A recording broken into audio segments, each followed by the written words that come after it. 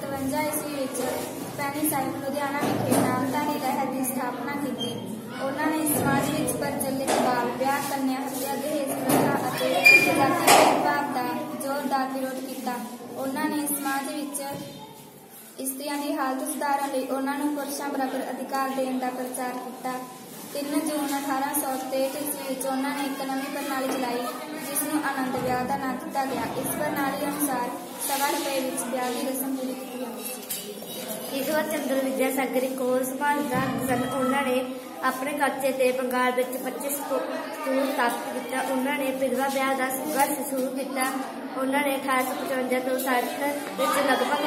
25 ਵਿਧਵਾ ਵਿਆਹ ਕਰਾਏ ਉਹਨਾਂ ਨੇ ਬਾਲ ਵਿਆਹ ਦਾ ਖੰਡਨ ਕੀਤਾ ਉਹਨਾਂ ਨੇ ਯਤਨਾਂ ਸਦਕੇ 1856 ਈਸਵੀ ਵਿੱਚ ਹਿੰਦੂ ਵਿਧਵਾ ਵਿਆਹ ਕਾਨੂੰਨ ਪਾਸ ਕੀਤਾ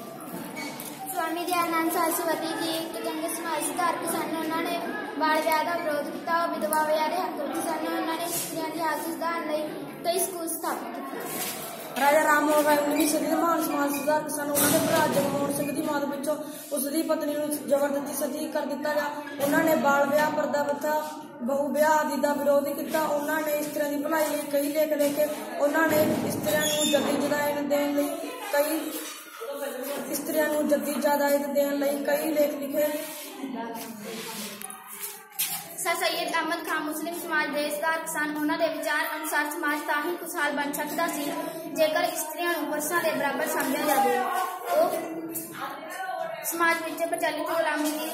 ਪ੍ਰਥਾ ਨੂੰ ਚੰਗਾ ਨਹੀਂ ਸਮਝਦੇ ਸਨ ਉਹਨਾਂ ਨੇ ਵਿਗਿਆਨ ਦੇ ਗ੍ਰੰਥ ਨੂੰ ਉਰਦੂ ਵਿੱਚ ਅਨੁਵਾਦ ਕਰਨ ਲਈ ਸਾਇੰਟਿਫਿਕ ਸੁਸਾਇਟੀ